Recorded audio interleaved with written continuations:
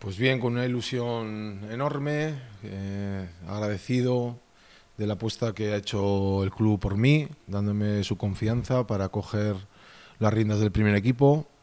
Eh, estoy en el mejor momento de mi vida para afrontar este gran reto.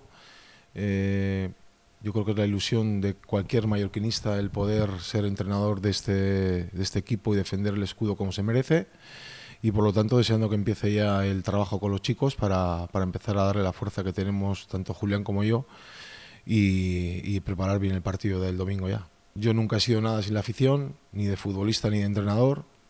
Para mí la afición es el mayor patrimonio que tiene este club, siempre lo ha sido. Me ha ayudado siempre donde he estado, tanto de jugador como de entrenador. Y que sin ellos, ni los chicos, ni, ni yo, ni nosotros somos nada.